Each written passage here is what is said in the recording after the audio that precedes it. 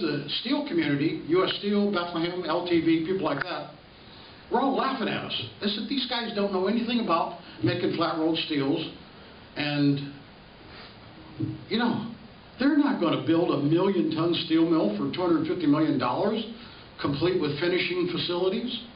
That's not going to happen. And these dummies think they're going to run this with 300 people. It's going to take thousands, just like us.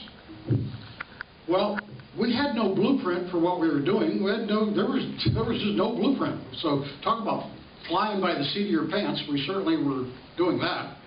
But, uh, and it didn't cost 250 million. It cost 285 million dollars to build it. And, uh, but we operated it with 275 people. We started making more money than any other steelmaker in the United States.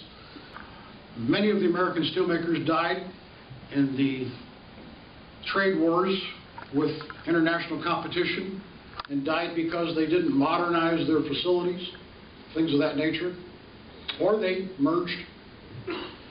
And when we were born, when Steel Dynamics was born, we obviously were the smallest steelmaker in the country.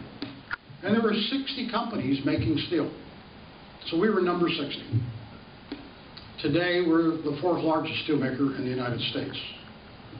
So it's an incredible story of growth and transition, and uh, one we're very proud of. And people ask me all the time, what are you most proud of?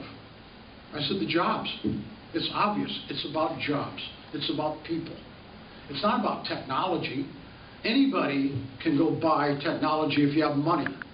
But it's about the culture that drives the success of the company. That's what makes Steel Dynamics great.